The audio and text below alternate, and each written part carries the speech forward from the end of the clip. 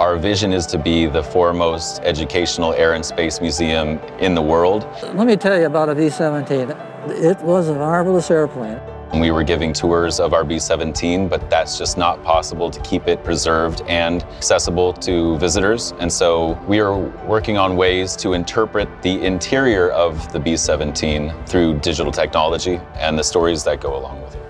Microsoft has been doing so much experimentation in VR and AR and 360 degree photography and technology. We could utilize that and really bring it out onto the floor here at the museum to help people and, every organization on the planet achieve more, we love to do hands-on experiences like this where people can touch the technology, immediately see the value and do things that they never imagined possible. We knew that we both had the same vision about experimenting, trying out new things. You take the scanner and you move it along the, the plane and at the end, all this information comes together into a 3D model that is being processed in the cloud.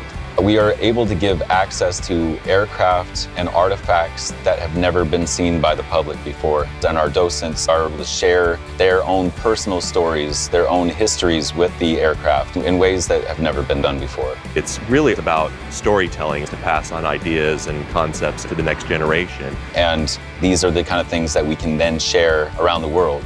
This is a great example of how technology enables accessibility for everybody to enjoy this place uh, on any device and any time.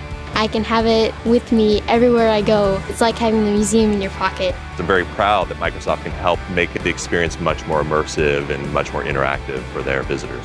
The response that we're getting from visitors is just wow.